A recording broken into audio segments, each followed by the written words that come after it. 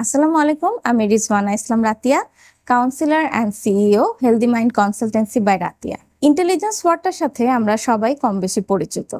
কিন্তু emotional intelligence ওয়ার্ডটার সাথে কিন্তু আমরা তেমন একটা পরিচিত নই। ইমোশনাল ইন্টেলিজেন্স হলো আবেগীয় বুদ্ধিমত্তা। আর ইন্টেলিজেন্স হলো যে কোনো ধরনের প্রবলেম সলভিং অ্যাবিলিটি যেটা সাধারণ বুদ্ধিমত্তাকে বোঝায়। আমরা হয়তো অনেকেই জানি না যে ইমোশনাল ইন্টেলিজেন্সের গুরুত্বটা কতটুকু আমাদের জীবনে। হার্ভার্ড এবং স্ট্যানফোর্ডের রিসার্চ অনুযায়ী এইটি ফাইভ থেকে এইটি সেভেন পার্সেন্ট সাকসেস মানুষের লাইফের যে সাকসেস সেটা ডিপেন্ড করে ইমোশনাল ইন্টেলিজেন্সের উপরে। এবং রিসার্চে দেখা যায় যে যত সাকসেসফুল পার্সনস রয়েছে, তাদের মধ্যে নাইনটি পার্সেন্ট মানুষই ইমোশনালি অনেক বেশি ইন্টেলিজেন্ট ইমোশনাল ইন্টেলিজেন্সের ইফেক্ট আমাদের রেগুলার লাইফে ইন পার্সন লাইফে এবং আমাদের ওয়ার্ক লাইফে আমরা খুব ভালোভাবে প্রত্যক্ষ করতে পারি। যেমন আপনার পার্সোনাল লাইফে আপনি যদি ইমোশনালি ইন্টেলিজেন্ট হন বা আপনার ইমোশনাল ইন্টেলিজেন্স যদি বেশি থাকে, তখন কিন্তু দেখা যায় কি আপনি একটা হেলদি হ্যাপিয়ার রিলেশনশিপ পাচ্ছেন। আপনার ফ্যামিলি লাইফে কনফ্লিক্টটা অনেকটাই কমে যাচ্ছে। এটা কিন্তু আপনাকে পজিটিভ চিন্তা করতে সাহায্য করবে। আপনার নেগেটিভ চিন্তা ভাবনাগুলোকে রিডিউস করতে সাহায্য করবে এবং আপনি দেখবেন যে আপনার কোয়ালিটি ফুল লাইফ আপনি একটা পাবেন এবং হ্যাপি থাকবেন আপনি লাইফে you can be a very happy person productivity বাড়বে সেলফ ডেভেলপমেন্ট হবে। মোট কথা, আপনার একটা সুন্দর আপনি লাইফের প্রতি স্যাটিসফাইড থাকতে পারবেন।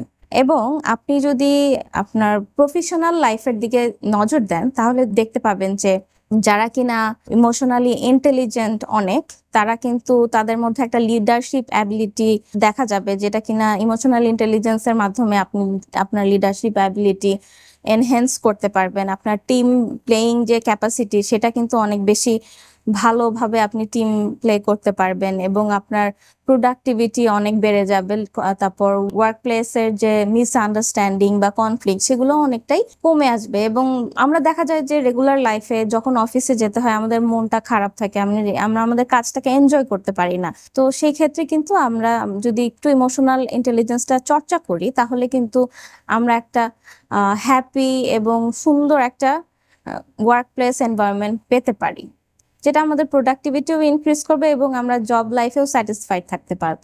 ইমোশনাল ইন্টেলিজেন্সের একটা খুব গুরুত্বপূর্ণ প্রভাব আমরা আমাদের ব্যক্তিগত জীবনে দেখে থাকি। তার মধ্যে একটা হচ্ছে যে হ্যাপি রিলেশনশিপ আপনি আপনার পার্টনারের সাথে বা আপনার ফ্যামিলি মেম্বারের সাথে কতটুকু হ্যাপি আছেন? আপনি যদি আপনার পার্টনারকে ঠিক মতো বুঝতে পারেন, আপনার নিজের আবেগ এবং আপনার যে পার্টনার বা ফ্যামিলি মেম্বার যারা আছে, তাদের আবেগ বুঝে সেই অনুযায়ী যদি আপনি কাজ করেন বা সেই অনুযায়ী যদি আপনি আপনার বিহেভিয়ারটা কন্ট্রোল করেন, আপনার ইমোশনটা কন্ট্রোল করে সেই অনুযায়ী চলেন, তাহলে কিন্তু দেখা যাবে কি, আপনিও হ্যাপি থাকবেন, আপনার ফ্যামিলি মেম্বাররাও হ্যাপি থাকবে এবং এতে করে যে ওভারঅল একটা যে ফ্যামিলিতে আমরা কনফ্লিক্ট দেখি সেই জিনিসটাও কিন্তু অনেকটাই কমে আসবে।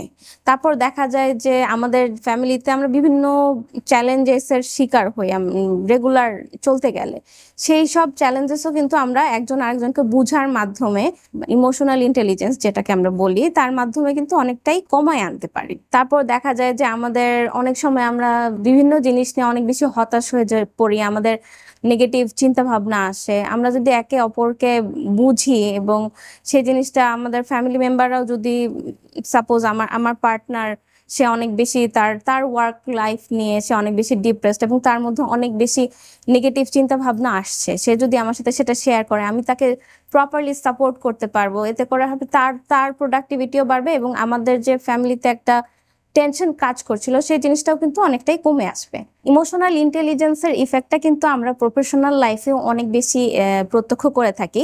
আমরা যখন অনেক বেশি স্ট্রেসের মধ্যে দিয়ে থাকি, আমরা প্রপারলি জিনিসটা প্রসেস করতে পারি না, তখন হয় কি, আমাদের যে কাজ করার ক্ষমতাটা প্রোডাক্টিভিটিটা অনেকটাই কমে যায়। কেউ যদি ইমোশনালি ইন্টেলিজেন্ট হয় তাহলে কিন্তু তার মধ্যে এক ধরনের প্রোডাক্টিভিটিটা বাড়বে। কারণ সে তখন আমার যে কাজটা, আমার উপর যে প্রেশারটা আসছে ওয়ার্ক প্রেশারটা সেটাকে আমি কীভাবে ম্যানেজ করব এবং সেই জিনিসটা যদি অনেক বেশি আনবিয়ারেবল হয়ে যায়, তখন কিন্তু কি করবে? সে সেই জায়গা থেকে একটা ব্রেক নিবে। ব্রেক নিয়ে তার যে আদার টিম মেম্বার আছে বা সে ওখান থেকে সর্ট আউট করবে যে কীভাবে আমি এই জিনিসটাকে স্ট্র্যাটেজিক্যালি আমি এই জিনিসটা ফেস করব এবং আমি আমার কাজটা অ্যাকমপ্লিশ করব। তো এতে করা হয় কি, একটা টিম প্লেইং এর যে ব্যাপারটা, এই জিনিসটা কিন্তু বিল্ড আপ হয় এবং লিডারশিপ কোয়ালিটিটাও কিন্তু এই ক্ষেত্রে আপনি আপনি আপনার টিম মেম্বারদের যদি বুঝতে পারেন, তাহলে কিন্তু হবে কি, আপনার যে টিম প্লেইং যে ব্যাপারটা লিডারশিপের ব্যাপারটা অ্যাবিলিটিটা এটাও কিন্তু অনেকটাই ইমপ্রুভ করবে। এতক্ষণ তো আপনারা জানলেন যে ইমোশনাল ইন্টেলিজেন্সের গুরুত্বটা কতটুকু। এখন আসেন জেনে নেই যে ইমোশনাল ইন্টেলিজেন্সটা আমরা কীভাবে প্র্যাকটিস করব এবং চর্চার মাধ্যমে এটাকে আমাদের ডেইলি লাইফে আমরা প্রতিষ্ঠিত করতে পারি। এটা আপনারা একদিনেই হবে না আপনাদের। এটা রেগুলার চর্চার মাধ্যমে ইমোশনাল ইন্টেলিজেন্স বাড়ানো যায়।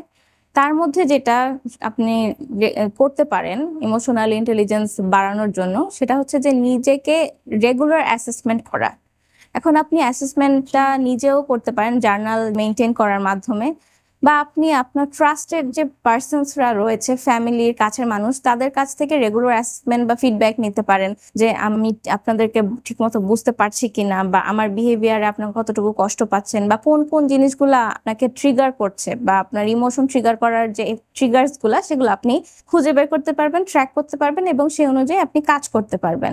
তারপর আপনি যদি বিভিন্ন ধরনের রিল্যাক্সেশন বা টেকনিক যেমন মাইন্ডফুলনেস ইয়োগা তারপর হচ্ছে পজিটিভ সেলফ টক যেটা, নিজেকে নিজে বুঝানো, তারপর ব্রেদিং টেকনিকগুলা সেগুলা কিন্তু আপনি ফলো করতে পারেন ইমোশনাল ইন্টেলিজেন্স বাড়ানোর জন্য। বা আপনি নিজেকে একসেপ্ট করতে হবে এবং একসেপ্ট করতে হবে কি আপনার যে ইমোশনটা হচ্ছে, সেই ইমোশনটাকে আপনার একসেপ্ট করতে হবে। এবং সেই অনুযায়ী এমনভাবে নিজেকে প্রিপেয়ার করতে হবে যাতে কিনা অন্য কেউ কষ্ট না পায়। এবং সব থেকে বেশি গুরুত্বপূর্ণ যেটা, সেটা হচ্ছে যে আপনার যে প্রপার একটা স্লিপিং যে pattern eight hour quality sleep এটা কিন্তু আপনাকে অবশ্যই মেনটেন করতে হবে। আমরা আমাদের যেই সব ফ্রেন্ডস ফ্যামিলির সাথে যারা আমাকে পজিটিভ ওয়েতে সাপোর্ট করে, সেই সেই যে রিলেশনশিপগুলা সাপোর্টিভ রিলেশনশিপটা বিল্ড আপ করতে হবে আমাদের ইমোশনাল ইন্টেলিজেন্স বাড়ানোর জন্য। আমরা যদি আমাদের লাইফটাকে সাকসেসফুল করতে চাই বা আমাদের লাইফটাকে একটা কোয়ালিটিফুল হ্যাপি লাইফ পেতে চাই, তাহলে কিন্তু আমাদের ইমোশনাল ইন্টেলিজেন্সের চর্চাটা সব সময় করতে হবে এবং সব থেকে বেশি যেটা করতে হবে সেটা হচ্ছে আমাদের বাচ্চাদের সামনে এই ইমোশনাল ইন্টেলিজেন্সটা প্র্যাকটিস করতে হবে। তারা যখন দেখবে যে আমার বাবা মা আমার, আমাকে বুঝতে পারছে বা আমাকে বোঝার চেষ্টা করছে, তারাও কিন্তু ছোটবেলা থেকেই ওইভাবেই বড় হবে এবং তারাও কিন্তু বড় হয়ে বা স্কুলে বা কলেজে, ইউনিভার্সিটিতে তাদের আশেপাশের মানুষগুলাকে বুঝতে চেষ্টা করবে এবং ইমোশনাল ইন্টেলিজেন্স চর্চা তাদের মধ্যে ছোটবেলা থেকেই চলে আসবে। এতে করে আমরা নিজেদের লাইফটাও সুন্দর করতে পারব এবং আমাদের যে সন্তান রয়েছে, তাদের লাইফটাও কিন্তু আমরা ইমোশনাল ইন্টেলিজেন্স চর্চার মাধ্যমে তাদের লাইফটা ইজি করতে পারবে এবং তাদের লাইফটাও সুন্দর হবে।